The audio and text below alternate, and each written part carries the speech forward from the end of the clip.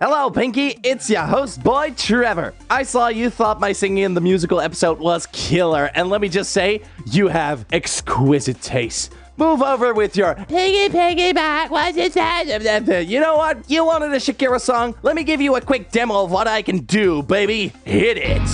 Whenever, wherever, we're meant to be together. I'll be there and you'll be near. And that's the deal, my dear. We're over, heels. There's nothing left to fear. If you really feel the way I feel.